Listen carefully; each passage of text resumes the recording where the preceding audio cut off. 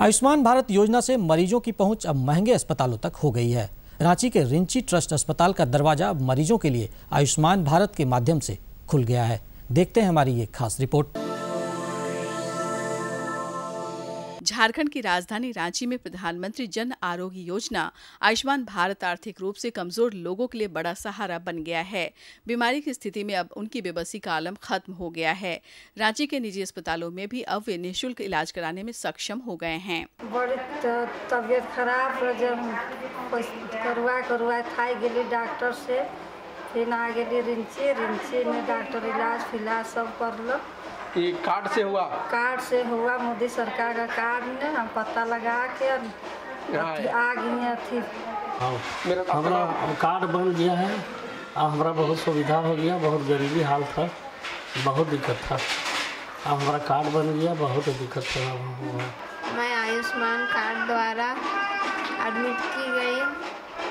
इसके द्वारा मुझे खाना दवाई बेड सब चीज़ का फ्री इलाज हो रहा। है राजधानी रांची के अस्पतालों में आयुष्मान भारत योजना का लाभ मरीजों तक सुविधाजनक तरीके से पहुँचाने के लिए विशेष काउंटर बनाए गए हैं जहाँ पर आयुष्मान मित्र लोगों की सहायता कर रहे हैं।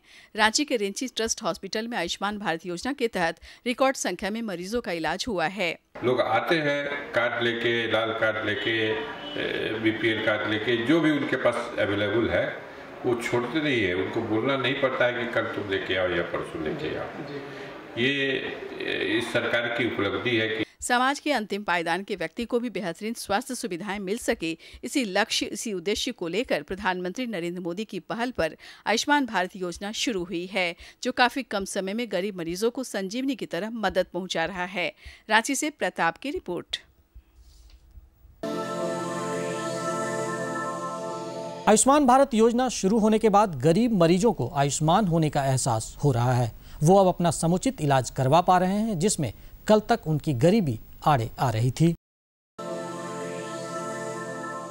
हजारीबाग ज़िले के गिद्दी की रहने वाली कमला थोड़ी सहमी हुई है क्योंकि उसके गोल ब्लडर का ऑपरेशन होने जा रहा है। वह खुश भी है कि उसे पुरानी तकलीफ़ से छुटकारा मिल जाएगा। कमला के गोल ब्लडर में स्टोन है। हम ऑपरेशन कराने के लिए आए हैं हमने आयुष्मान भारत की तरफ़ से। कमला के पति किशोर की आज एक बड़ी चिंता दूर होने जा रही है। वे शुक्रगुजार हैं केंद्र सरकार का क्योंकि प्रधानमंत्री जन आरोग्य योजना का लाभ उन्हें न मिला होता तो उन्हें आज भारी भरकम राशि कर्ज लेनी पड़ती। योजना अगर भारत सरकार पीएम पीएम साहब अगर नहीं चलाए होते तो आज गरीब के जो हम लोग को तीस हज़ार या चालीस हज़ार जो खर्चा होता उस समय आज वंचित हो समाज सेवी और नागरमल मोदी सेवा सदन के अध्यक्ष राजेंद्र सरावगी बताते हैं कि आयुष्मान भारत से आज एक बड़े वर्ग को फ़ायदा हो रहा है, जिनका पैसे के अभाव के कारण समुचित इलाज नहीं हो पा रहा था। लोगों ने इसके लिए एक आरोग्य मित्र की नियुक्ति की है, जो कि टीपीए डेस्क बनाया है, जहाँ आयुष्मान भारत के आने वाले मरीज़ की वहाँ पर जाँच होती है और उसका ऑथराइजेशन मिलने के बाद हम लोग उसको भर्ती करके इलाज कर रहे हैं। आयुष्मान भारत के सफल क्रियान्वयन में जहाँ सरकारी से लेकर निजी अस्पताल खूब उत्साह दिखा रहे हैं, वहीं लोग भी आगे बढ़कर इसका पूरा लाभ उठा रहे हैं।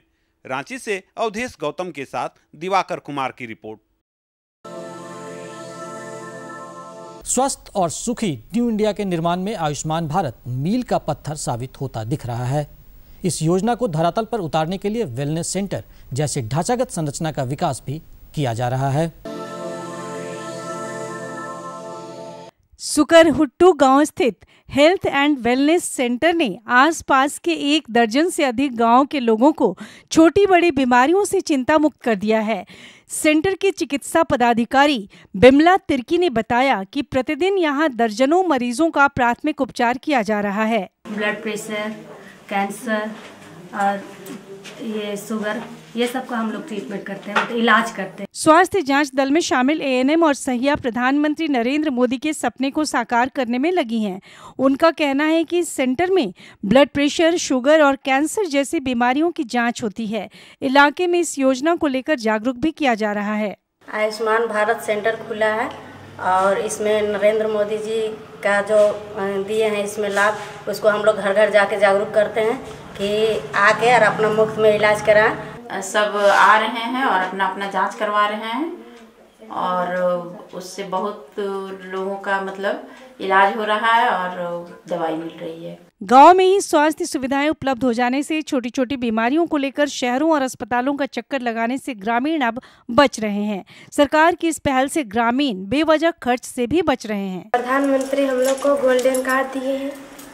हम लोग इलाज करवाने आते हैं। फ्री में दवा मिलता है फ्री में जाँच होता है। प्रधानमंत्री कार्ड दिए हैं। फ्री का इलाज करता है। जब भी ज़रूरत पड़ता है। कहाँ से यहाँ से दवा खा खा सुदूरवर्ती ग्रामीण इलाकों तक स्वास्थ्य सुविधा के विस्तार की दिशा में हेल्थ एंड वेलनेस सेंटर काफ़ी मददगार साबित हो रहा है। रांची से करमबीर की रिपोर्ट। प्रधानमंत्री जन आरोग्य योजना से राज्य के कई बड़े अस्पताल सूचीबद्ध हो गए हैं। राजधानी रांची के सेवा सदन अस्पताल में भी इस योजना के तहत मरीजों का इलाज हो रहा है, जहाँ से वो स्वस्थ होकर अपने घर लौट रहे हैं। रांची से सटे सोना के बेहद गरीब परिवार से आने वाली शीला देवी की बच्चेदानी में संक्रमण की परेशानी के बाद डॉक्टरों ने उन्हें ऑपरेशन की सलाह दी। इसमें करीब 50 से साठ हज़ार रुपये के खर्च से परेशान शीला ने ऑपरेशन का मन त्याग दिया। लेकिन अब आयुष्मान भारत के तहत इनका मुफ़्त ऑपरेशन हो रहा है। आयुष्मान भारत से इलाज हो रहा है। शीला के पति विशेश्वर कहते हैं कि आयुष्मान भारत न होता तो शायद वे कर्ज में डूब जाते और उनकी परेशानी और बढ़ जाती पर अब वो निश्चिंत हैं। मैं दूसरे जगह करवाने से मेरा पचास साठ हज़ार रुपया खर्चा होता लेकिन यहाँ फ्री चिकित्सा हो रहा है। रांची के नागरमल मोदी सेवा सदन में शीला जैसी कई जरूरतमंदों का इलाज इस योजना के तहत हो रहा है। निश्चित तौर पर इस योजना ने शीला जैसी लोगों को बड़ा सहारा दिया है। रांची से अवधेश गौतम की रिपोर्ट। प्रधानमंत्री जन आरोग्य योजना आयुष्मान भारत झारखंड जैसे राज्यों के लिए तो मील का पत्थर साबित हो ही रही है। इस योजना ने समाज के अंतिम व्यक्ति को बड़ा सहारा दिया है। असहाय और बेसहारा लोग भी अब महँगे अस्पतालों की दहलीज तक पहुँच गए हैं, जहाँ पर उनका मुकम्मल इलाज हो रहा है। वह भी निःशुल्क। इस महत्वाकांक्षी योजना से स्वस्थ झारखंड, समृद्ध झारखंड का सपना साकार होने लगा है। आयुष्मान भारत की इस खास कड़ी में बस इतना ही। स्वस्थ रहिए, सुखी रहिए। अगले हफ़्ते इसी वक्त, इसी चैनल पर फिर मुलाकात होगी। नमस्कार।